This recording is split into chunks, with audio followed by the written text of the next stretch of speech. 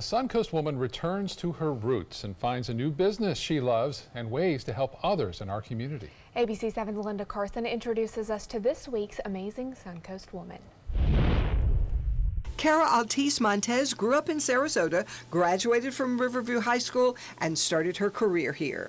Started working with Hyatt Hotels as a management trainee and then uh, they moved me to Los Angeles. Her new husband loved the idea. My husband then was Dave Altize, and he was a local musician.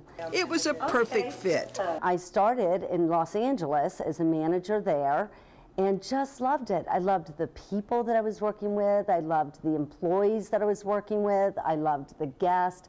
I loved creating experiences for them. Her career took off. I just continued to grow and develop and had a 30 year career ending as an executive vice president for Viceroy Hotel Group. She and her husband had two children and a good life. He died in 2002, and she met her current husband, Dr. Luis Montes, when she was a Boy Scout leader, and he brought his sons to a meeting. I opened the door, and there was my future husband, and we've been together ever since. A couple of years ago, they moved back to Sarasota. My mother is here in my family. My mother was turning 80, and I always promised my mother I would come back and I would live here and be near her so that we could enjoy time together. And so my husband and I decided to make that move.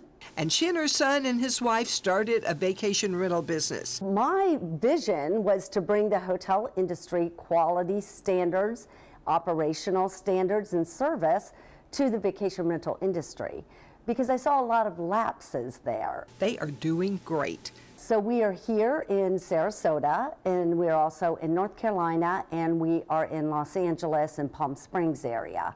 She's also involved in community service. She's the event coordinator of a project at First United Methodist Church called Hope for Absolutely. Kids. And that's an organization where we are providing backpacks and medical, dental services, um, food from the food pantry.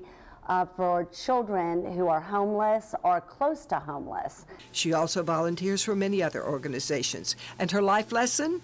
I believe that if people believe in themselves and have the confidence, they have the potential to be whatever they want to be in life.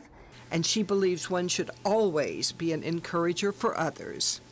And so the journey of this amazing Suncoast woman continues as she celebrates coming home to the Suncoast, starting a brand new business, and working side by side with family.